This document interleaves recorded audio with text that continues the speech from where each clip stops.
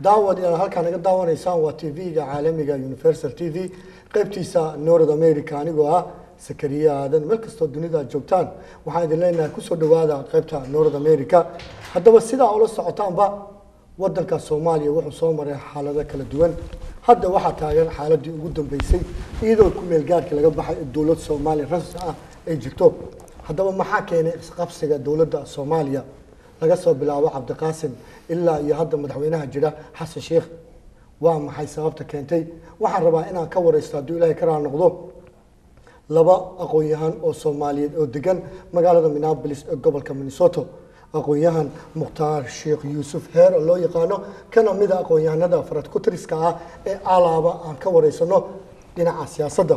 Sidoo kale saadiq cabdulaahi cabdi oo ah wiil dhallinyaraha aqoonna leh waxna ku batay dalka maraykanka.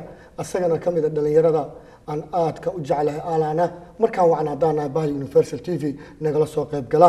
Haddaba doodeena maanta waxay ku saabsan tahay waa maxay sababta keenta isqaqabsiga dowladda soomaaliyeed? Hadday noqon lahayd prime ministerka iyo hadday noqon lahayd madaxweynaha. Marka ugu horeyso waxaan rabaa inaan weydiiyo su'aasheeda ugu horeysa mukhtaar. Mukhtaar waxaan rabaa inaan ku weydiiyo waxaad la socotaan dowladda cabdiqaasim ilaa iyo iminka isqaqabsi ayaa jira. Marka waxaan rabay si kooban inaad uga hadasho adoo one minute ilaa two minute madaxweynaha shaqadiisa iyo prime minister shaqadiisa. Maxay tahay? Bismi illaahi raxmaan raxiim alxamdu lilaahi rabi alcaalamiin waad mahadsan tahay universal t v zakariya xayow iyo walaalkay saadiq cabdulaahi oo runtii saaxiibkay ah. Oo igala qaybgelaya aragtida ku saabsan khilaafkan hadda ka soo kordhay madaxweynaha dowladda soomaaliya iyo ra'isul wasaaraha soomaaliya. Haddaynu dib ugu noqono runtii dhaqan bay iska noqotay in madaxweyne iyo ra'isul wasaare mar walba ay isqabsadaan. Waxaa marka caddayn bay noqonaysaa. Sharci kala haga oo loo hogaansamaya ayaan jirin. Yani dastuurka soomaaliya wuu kala qeexayaa qof walba shaqadiisa u yahay. Inkastoo ay jiraan qodobo somehow yar hor imaanaya oo aan qabyo qoraalka yani dastuurkan qabyo qoraalka ahi waxyaabaha uu kala xadidaya way jiraan. Laakiin haddii hadda la dhaho yani arrintaani maxay tahay? Arrintani waxay sal ku haysaa dastuurka oo aan loo hogaansamaynin oo hay'adda ugu sarreysa ee madaxweynuhu kow ka yahay oo aan u hogaansamaynin yani aan runtii ay ka muuqato in aynan awoodan hadda laysku haysta ee ah in la magacaabay ama dib shaf lagu sameeyey golaha wasiirada waxaa iskale yani madax waxaa iskale ra'isul wasaaraha wuxuuse yani xaq u leeyahay madaxweynaha in lagala tashado la ogeysiiyo. Ra'isul wasaaruhuna waa inuu la yimaado sabab uu u bedelayo golaha wasiirada. Mahadsantahay bismi illaahi raxmaan raxiim waxaan marka hore u mahad celinayaa telefishinka universal t v adigoo ah walaalkay mukhtaar iyo dadweynaha soomaaliyeed oo dunida daafaheeda kala duwan naga daawanayaan waa salaamaya. Asalka khilaafka soomaalida marka aad eegto waxa uu sal ku leeyahay waa tixgelin la'aanta dastuurka jira oo aada u malaynayso in dhinacyada inta badan ay interpretation ama fasiraad gooni ay la yimaadaan. Anigu waxaan qabaa khilaafyadii hore haddaan ka soo tagno aan midkan focus garayno prime ministerka iyo prime ministerka iyo madaxweynahu arrintoodu khilaaf dastuuri ah ma ah. Waa arrin maamul. Weliba waxa aan halkan ka caddaynaya in qodobada sagaashanaad iyo midka boqolaad ee kala qeexaya awoodaha madaxweynaha iyo tan prime ministerka ay cad yihiin waxaa ku xusan magacaabis iyo xilka qaadis labaduba prime ministerka muxuu ahaa kumuusan xadgudbin waxna ma magacaabin xilka qaadisna muu samayn waxa uu sameeyey arrin maamul oo ah isku shaandhayn. Haddii ay noqoto marka in madaxweynuhu uu soo farageliyo howlihii maamul ee u gaarka ahaa prime ministerka dan waxay noqonaysaa in uusan ra'iisul wasaaruhu xaq u lahayn in uu howshiisa si daacada u guto. Waxaana muuqata hadda asalka problemka dhan in uu ka imaanayo xagga madaxtooyada oo aan u arko in faragelintu ay ka imaanayso awoodaha een, israacay oo hal dhinac wada aaday oo uu ra'iisul wasaaruhu u arko in muxuu ahaa een, dalku uusan saa wadadii toosan qaadanayn Waa inaynu fahamno eh, dhab ahaan dastuurka soomaaliya. Ma aha dastuur loo codeeyey oo dadka soomaaliyeed inta laga dhaadhiciyey ama mas'uuliyiinta laga dhaadhiciyey ee ay iyaga soo xusheen. Ma ahayn. Sida aad ogtahay dastuurkan waa dastuur soomaaliya loo keenay. Een, hay'adda xeerdejinta ee baarlamaanku iyaguna odayaal dhaqameedyo ayaa doortay maamulka madaxweynaha markii loo doortay yani ay doorteen baarlamaanku wuxuu doortaa sida caadiyanka sharciga qoran inuu obantigareeyo oo uu doorto nin la shaqeyn kara oo ra'iisul wasaare ah. Haddiiba horta sharci lagu dhaqmaayo meesha dhibba ma jirin. Waa wax fiican sharci in lagu dhaqmo. Laakiin madaxweynuhu wuxuu keensadaa mar walbaba cidda u dhaga nugul ee asaga go'aankiisa ku socda dastuur iyo sharci laguma kala socdo soomaaliya. Mana horeyna looguma kala soconin haddana laguma kala socdo. In lagu wada socdo ma fiican tahay? Yes. Laak- laakiin waxay ila tahay qaladka anigu waxaan ku saarayaa een, arrintan iyada ahi labadaba. Waa mar. Wuxuu madaxweynuhu ku leeyahay qalad. Haddii ninkan uu shaqo u magacaabay laga soo sharciyeeyey ee baarlamaanka shaqadiisii uu howlgalay uu wasiiro bedelay waxaa laga rabay madaxweynuhu inuu waxa uu ka filayo ay noqoto tashi. Laakiin inuusan dhihin ninkan aan jeclahay ninkan ii daa kanaa saaxiib ila ah yacni gruub gooni ah la ii sax maaha. Waxaa kaloo ayadana meesha ku sii daraya ra'iisul wasaaruhu waa inuu keeno yani sababta uu u bedelaya dadka inuu dadka ka madaxweynaha u sheego ee la tashi ka sameeyo waayo dhaqanka waxaan ognahay kii madax- wasaarayaashii hore waxay ku tageen awood sheegasho keligii anaa shaqadaydu tahay. Haddii aan annagu waxaan leenahay dastuur iyo xeer hoosaad baarlamaankaas uu ku muxuu ahaa uu ku yahay sharci dejiye haddaad fiiriso xeer hoosaadka xataa iska dhaaf muxuu ahaa dastuurka aan haysano. Ma qoraayo wax la yidhaahdo isku shaandhayn waa awood maamul oo u gaar ah ra'iisul wasaaraha waxaa intaas sii dheer haddaanu nidhaahno een, dee dastuurka lama tixgelinayo dee marka waxay noqonaysaa eh, in Fawda uu meesha uu fawdo ay timaado oo ay wax kasta ay noqoto jaanta rogan. Annagu hadda waxaan aragnaa in eh, weliba dadka ummadda soomaaliyeed ee beesha caalamka iyo dadweynaha dhan soomaaliyeed intooda badan waxay u jeedaan oo markhaatimo doonto ah in awoodihii dalka ay hal dhinac noqdeen. Haddii ay noqoto dastuurkii wasaaraddii federaalka dhinacii garsoorka ay noqoto maamul samayntii wasaaradda arrimaha gudaha intaaba waxa waaye ummaddu way fiirsanaysa. Laakiin eh, prime ministerka ah, waxaan qabaa in uu tallaabadan eh, muxuu ahaa isku shaandheynta ah uba la daahay ee ahayd inuu mar hore muxuu ahaa badbaadinta qarankaa soomaaliyeed ummaddaa soomaaliyeed hortago Eh, annagu sharcigan ilaalinaynaa sharcigaa dadka ka weyn ilaalinayna. muxuu ahaa ninjeclaysi iyo kooxaysi iyo anagu danta horta waxay la tahay sharciga in lagu kala hago oo soomaaliya uu kala hago ama lagu socdaayay waa waxa soomaali u baahan tahay. Laakiin sharci ilaalinta ee, ra'iisul wasaaruhu ma lahan. Waxaa iskale madaxweynaha iyo baarlamaanka. Iyo iyo maaragtay iyo garsoorka hay'adda garsoorka ee maaragtay baa la isugu noqonayaa. Waxay la tahay marka arrinta sharciga ahi arrintan dhacday yaa authoritygeeda leh ra'iisul wasaaraha iskale taa iyada dood kama jirto. Yani maya yani inuu awooddan inuu wax bedela ah. Oo yani Maxaa sababta marka madaxweynuhu uga hor yimaado awoodda uu- ee, yani waxaan filayaa hadda sida hadda horta waxa badan oo inaan ogeyn baa jira. Waxaan hadda ognahay uun waa wax hadda yani ama mediaha soo baxay ama waxa yani ee, hadda aynu wax- laakiin waxa laysku afgaransin layahay eh, wada shaqaynta wey dadkaana wada shaqayn karin. Yidhi eh, saadiq sida uu sheegay waxaa meesha socda two groups. Group doonaya awooddii waddanka inay qabtaan iyo group ka soo horjeeda oo doonaya in aan awooddii waddanka aysan group u gacan gelin. Su'aasheedu waxay tahay marka marar badan waxaa ka ka hadlaysay sharciga.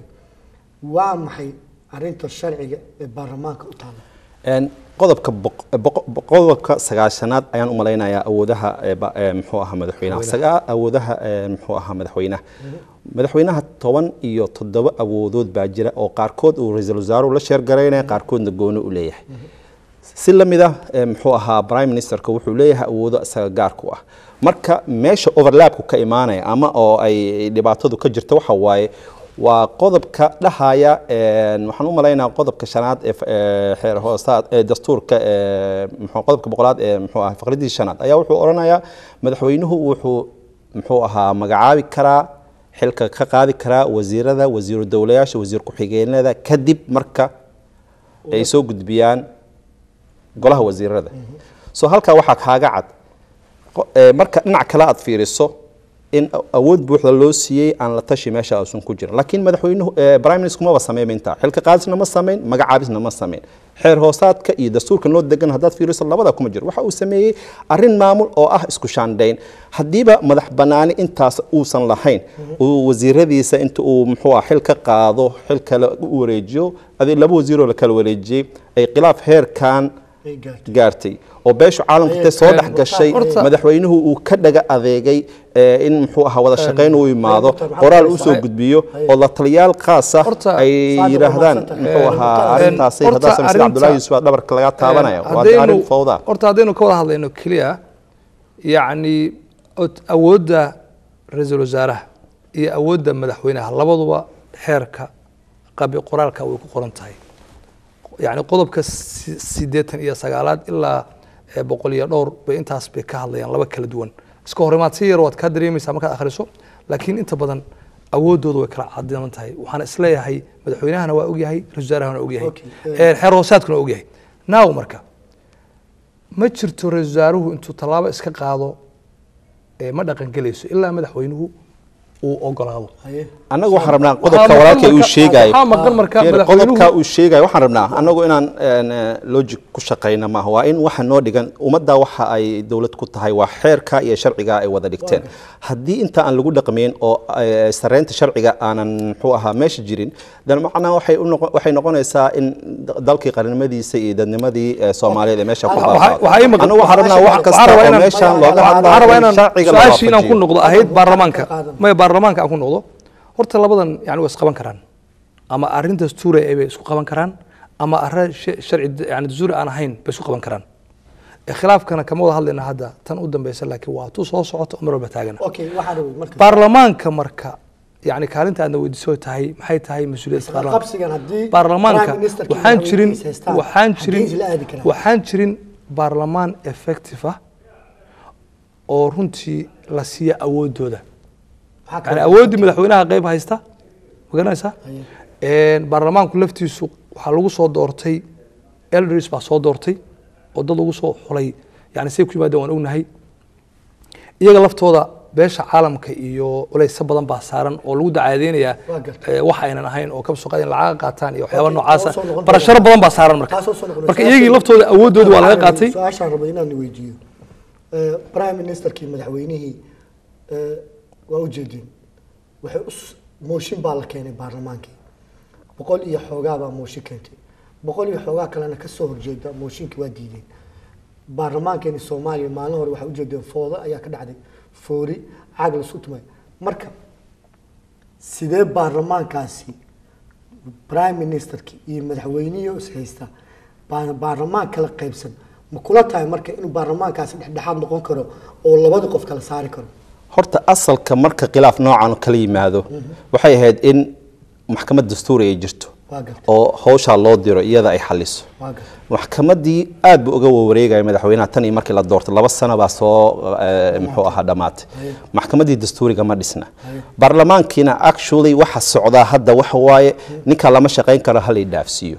Oo muxuu ahaa sidii sidii aan ku saaraba eh, muxuu ha baxo hadde waxa waaye adduunyadu ma ogolaanayso wax khayru qaanuun ah inay muxuu ahaa madaxweynaha ku raacdo. Waxa madaxweynaha la diidan yahay waxa waaye hadda wuxuu dumiyey golihii wasiirada. Ama ugu yaraan howlgab bay noqdeen. Ha, laba qayb bay noqdeen. Garsoorkii ayaa muxuu ahaa dad ayaguna muxuu ahaa ciidin dhinac buu ka qaylinaya oo weliba garsoorkii hal dhinac buu u batay oo uu madaxweynuhu muxuu ahaa u ololeynaya in siyaasadiisa ay fuliyaan.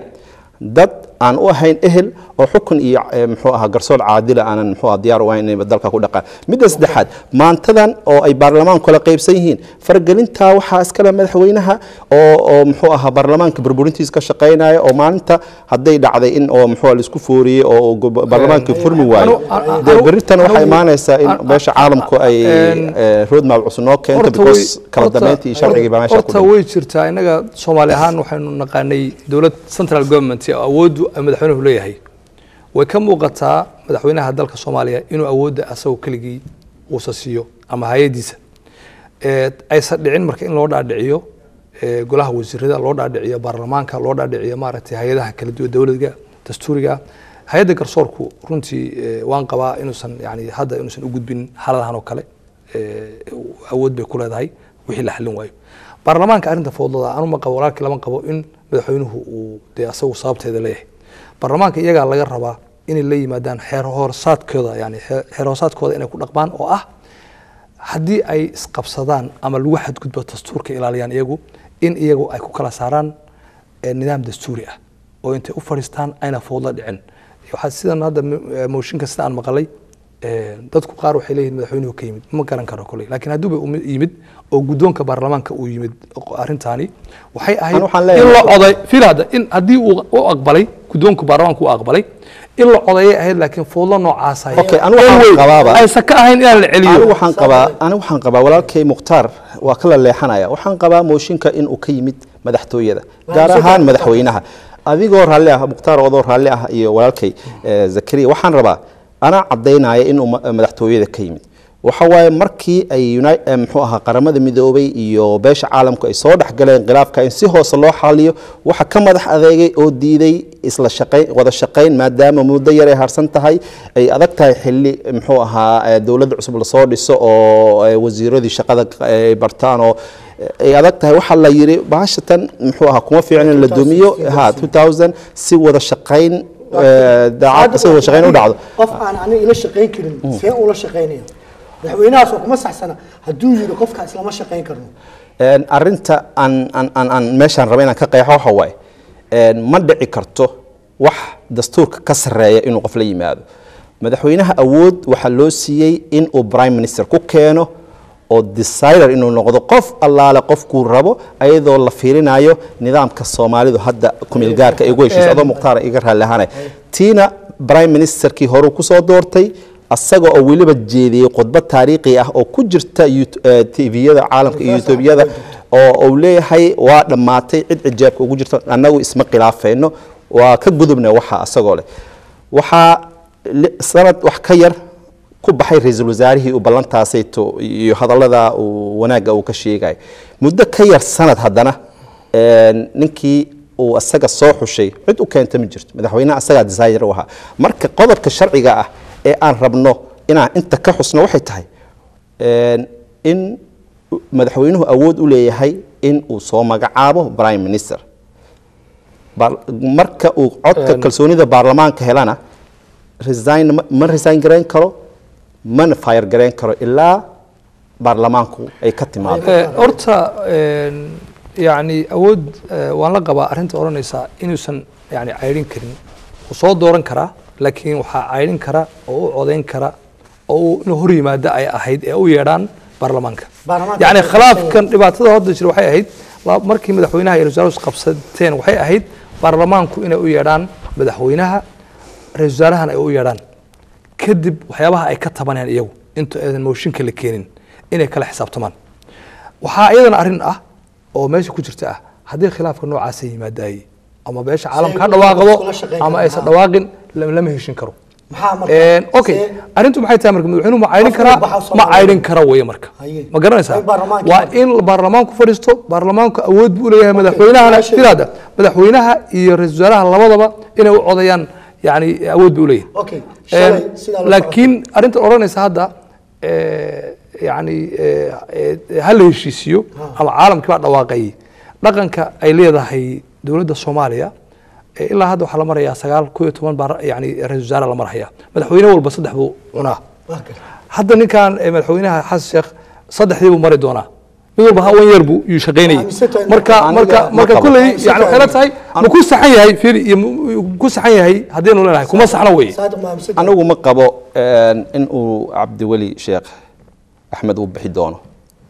Waxaan qabaa in beesha caalamka iyo soomaali inteeda badan ay fahansan tahay waxa dowladnimada tahay waxuu sharcigu yahay iyo sida uu sharcigu uga sarreeyo qofka. Sharciga baa ka sarreeya xasan sheekh qaanuunka aan degsanay hadduu ixtiraami waayo de wuxuu noqonayaa maamul goboleed.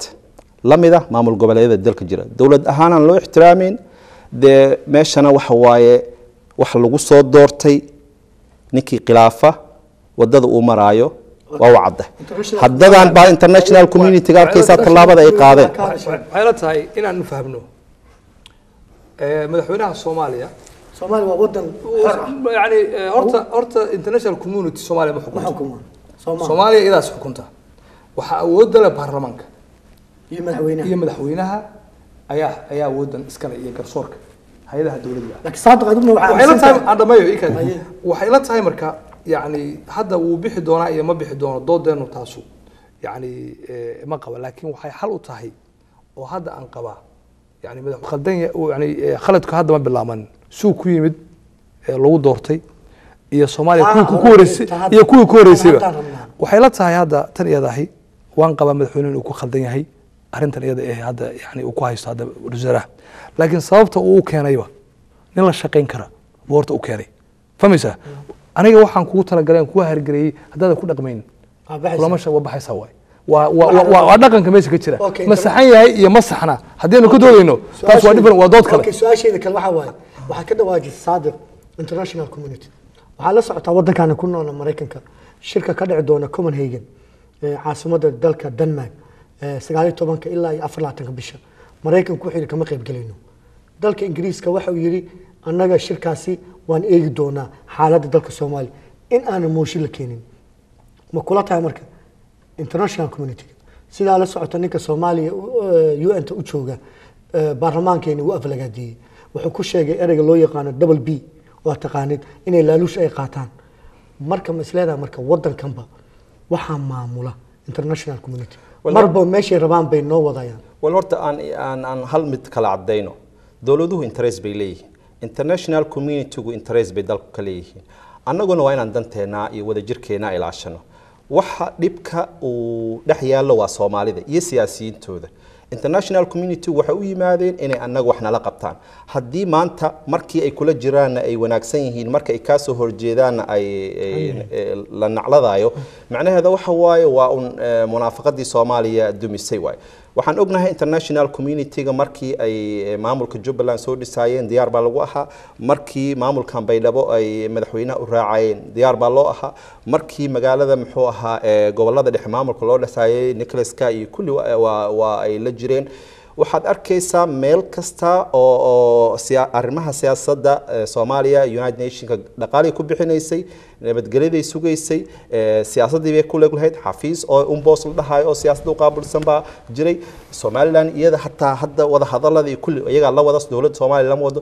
International community waa dhab inay eh, siyaasad eh, muxuu dan naga leedahay. Haddii soomaali ciddaa shaqo ka jirto waxaan u sheegayaa dal kasta oo duniyada joogo interest buu duniyada ka leeyahay. Turkida dalka joogta wa- siyaasad wa- siyaasad wa- horta waxay la tahay marka aan dhamaysto waxoogaa hadalka aynu isu gogasano ku noqon waxay la tahay een, horta international community-ga lagama maarmo waana in la tixgeliya weye waayo soomaaliya way u soo gulmadeen wayna la ma Eh, eh, laakiin in lagu xidhnaado oo go'aanka inoo yeedhiyaan ama go'aanka dowladda soomaaliya ay u yeedhiyaan ama lagu shaqeeyo eh, arrintaas sax ma aha. Khilaafka soomaaliya ka jirayey soomaalida ayaa go'aankeeda iska leh. Ee khilaafyada soo noqonaya ee weliba madaxa dowladda ku soo noqonaya ama baarlamaan ku soo noqonaya ama hay'adaha dowladda ku soo noqonaya sax ma aha. Waxay la tahay marka meesha waxaa ka jira wada shaqayn la'aan ku saabsan oo dhaqana iyo isu hogaansan la'aan. Ra'iisul wasaaraha soomaaliya iyo madaxweynaha soomaaliya iyo golaha wasiirada iyo baarlamaanku waa in laysku hogaansami karo eh, lana wada shaqayn karo. Haddayna taa imaanin oo nin walba wixii ii go'aan qabsanaya ay laba noqoto keliya ay dhiman waqtiga nagu yar aada noogu yar. Su'aasheedu waxaa waaye alaaba waxaad maqlaysaa eh, prime minister. Ka waran prime ministerka haddaan ku bedelno vice president maxay kula tahay? Anigu waxaan qabaa inaysan waxba soo kordhinin waana qeexayaa waana sharxayaa arrintaasayto ujeedka. Adoo soo gaabinaya Een, waxa waaye dal soo maray labaatan iyo shan sano oo burbura injustice ah iyo power struggle ah oo ama muxuu ah fawdo ah ama da- cadaalad darro ah ama loolan siyaasadeed oo dhi- dhinaca maamulka iyo xukunka ah marka la yiraahdo prime ministerka la bedelayaa Vice president. la keenaya Ah. waxa waaye waxay sii abuureysaa waxa la yiraahdo soomaalida bay sii kala fogeynaysaa hostilityga ama muxuu ahaa een, caburinta siyaasadeed ee meelaha dad- dadka qaarkood ay tirsanayaan ayaa weli sii jiraysa haddiiba aan la dhisaynin maxkamaddii dastuuriga ahayd oo aan la keenayn eh, system check and balance ah awoodaha hay'adaha dowladda ay isjeegaraynayaan een, muxuu ahaa anigu waxaan qabaa prime minister oo hawshan maanta loo xilsaaray oo iyadana lagu kontroolayo madaxweynaha hawshiisa lagu kontroolayo inta laga gaarayo dad soomaaliyeed oo inta dhaqaaqa sanduuqa hortaga iyadoo aanan cidna loogu muxuu ahaa cabsi aysan ka qabin u codeeya qofkii ay rabaan. Mideeda kalena waxa waaye haddiiba la rabo xataa in nis- laga baxo أو سيستم عالم كن أبدين يحيل الراعة أو أح مولت بارت سيستم أما نظام كأحزاب تبدل نحوها برلمان كعند أبدين برامج صار لقى سوقات لكن وح الشرط إن سيستم كان ويهاي is not the perfect one. أنا وسنترال جوفرمنت وصارقني سيستم مدحويني برايم مينستر وصارقني وح صارقنا حكومة دي دولة دي محمد علي السمتر محمد سياد بره ده وحي أحد hal dhinac Eh, aniga aniga waxaan arkaa eh, qaladkan inuu ka imaanayo dastuurka soomaaliyeed oo ah dastuur aan soomaalina la soo weydiinin soomaalina loo codaynin laynoo keenay ilaa haddana aan la fahamsanin. Haddaad akhrisana ee aad waxyaaba badan awoodaha aan kala qeexayn xeerarkan hadda soomaaliya uu yaalla. Haddii uu intii uu qeexayana mid lagu dhaqmaya ma aha aniga waxaa ila tahay lagama bixi doono yani wasaarada tegaya kuwaa imaanaya. Micno ma samaynayso. Hay'adba yaa yaa ku khaldamaysa hay'adba waxaa loo baahan yahay dastuurka qabya qoraalka ay u bixiyeen. In qabyada horta uu ka baxo. Oo uu noqdo dastuur qeexaya cid walba awoodda ay leedahay. Wax badan oo iska hor imaanayaan hadda dad fiiriso. Waa waa waa ku jira yani dastuurka. Waxay la tahay marka in la helo iyo hay'ado u hoggaansamaya sharciga. Dadka soomaaliyeed iyagu ma isu hoggaansamaan sharciga ma u hoggaansamaan waxyaabaha in la isweydiiyo oo in lagu wareega ay tahay taa weeye. Eh, yani sharcigana laguma dhaqmaayo meesha? Oo ani markaan ku keenaya sharciga kuguma keenin inaad ani ii dhega nugushahay oo ama marteeda qaysaan kuu keenay. Hadhowna waxay imaanaysaa sharci baan kula aadaya awooddeeda aan isbidaya waa aad baa umahadsantiin gabagabadii barnaamijka ayaan soo gaarin. Waxaan rabaa su'aasha ugu dambaysa idin weydiinaya xalka muxuu ku jiraa? Ma inuu prime ministerka baxo ayuu xalka ku jiraa? Oo prime minister cusub la soo doorto? Mise xalka wuxuu ku jiraa in madaxweynaha minister isla shaqeeyaan wixii hore la iska dhaafo. Xalka muxuu ku jiraa? Halka soomaali guud ahaan iyo midda khilaafku wuxuu ku jiraa in danta gaarka ah koox isbahaysi iyo wax dad dhegaha wax loogu soo sheegay meesha laga saaro oo dan guud oo soomaaliyeed ee dalka iyo dalkaa soomaaliyeed dan u ah dhibaatada ka saari karta. Ummadda soomaaliyeedna ay isugu soo dhowaan karaan isu aamini karaan meesha uu yimaado madaxweynuhuna garowsadaa shaqada prime ministerka ee maamulka ah iyo kan dastuuriga inay kala duwan yihiin. Tan maamulka ah waa maamulkiisa gaarka u ah ee uu wasiirada ku kala bedeli karo. Siday tahay inuu garowsado uu go'aanka uu qaatayna uu ka noqdo mideeda kalena muxuu ahaa marka la gaaro nidaamka axsaabta badan waa ogolnahay in isbahaysi iyo taxaaluf iyo ninkuu doono dhegtu wax ugu sheego hadduu prime ministerkan tago iyo hadduusan teginba muxuu ahaa lagu jeclahay in beesha caalamka baaqi ay soo jeeday ay dhab tahay oo ay tahay in ay maanta aan u beesha caalamka inay garab na siiso. Si ah ee, muxuu ahaa hay'adaha sharci dejintana aysan muxuu ahaa arrintan oo kale aysan la ku yeelan. Khilaafkan waa khilaaf shakhsiyeed iyaguna in ay la kala saftaan. Ma aha ama ay laaluush ama mid eh, muxuu ahaa anigu xildhibaanada dhan ma dhaliilaayo. Xildhibaano qaar ah oo arrintu ay ka qabyaaladeynayso ama ay siyaasadeynayaan baa jira. Kuwaabaan waxaan leeyahay arrintaasayto eh, ka waantooba ummadda soomaaliyeed way idin fiirsanaysaa. Maalin aan maanta ahayn bay idinla xisaabtami doontaa. Ninkii wanaag galaa wanaagiisa baan ku abaalmarin doonaa. Ninkii xumaanta maanta dalka een, madaxweynuhu horseedayo dabada sii qabtaana waxaan leenahay maalintaada baan muxuu ahaa aan sugaynaa. Een, horta in wax yani maxaa fiican? Xalku in la heshiyaa fiican. Laakiin arrintan soo noqonaysa ee kolba la isqabsanayo. Haddii mid kale la keeno ra'iisul wasaare cusub la keeno asagiina waa la qabsan doonaa. Kii hore waa la tegey.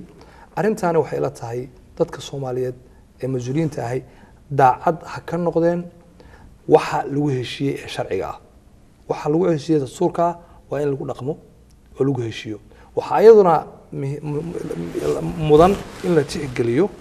Yani arrinta federalismka ahayd ayuu madaxweynuhu dhinaca ka haystay ogeyd oo gobollada iyo siday maamul gobollada marka la dhisayo oo kale. Waxyaaba badan madaxweynuhu waxaa loo baahan yahay. Asaga ayaa hay'adda ugu sarreysay dalka ah.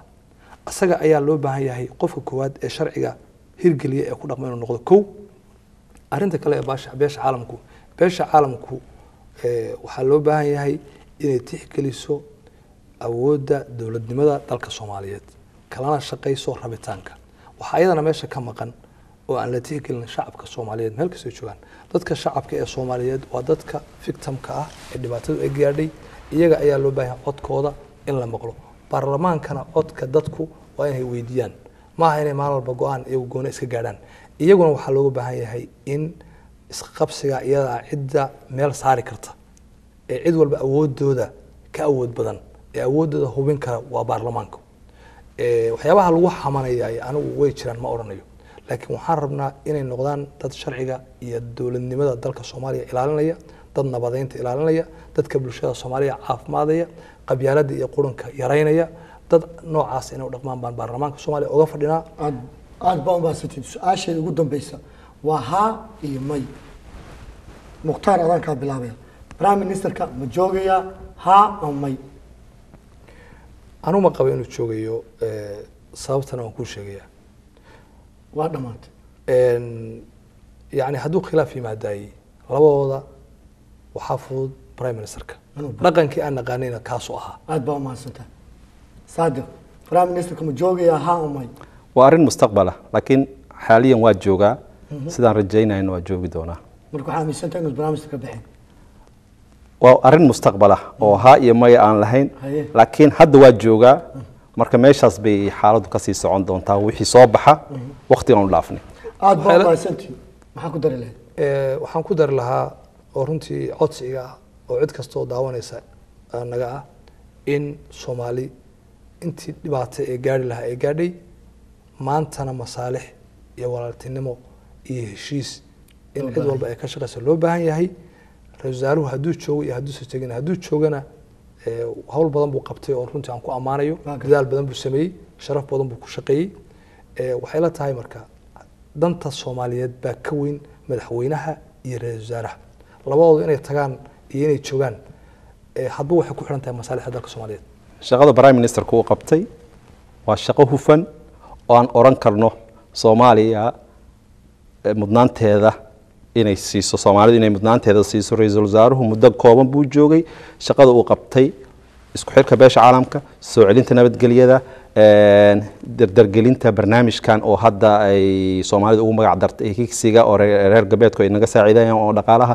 Marka arrintan in lagula shaqeeyo oo si soomaaliya nabad iyo kala dambeyn doorasho xoro xalaala loo gaaro waa inaan muxuu ahaa cabdiweli sheekh aan loo arkin muxuu ahaa nin qarannimada iyo muxuu ahaa dowladnimada ka hor imaanaya haddiiba ay dhacdo in la kala tegaayo ay ay noqoto muxuu ahaa si aanan muxuu ahaa jidida lagu kala tago oo aan aanan ka baxin aad baa umahadsantihin haddaba doodeyda waxay kala qayb qaatay labada aqoon-yahan mukhtaar sheekh yuusuf iyo saadiq cabdulaahi cabdi oo ka tirsan aqoon-yahanada ku nool gobolka minnesota gaar ahaan magaalada minneapolis. Aad baa umahadsantihin Dadka-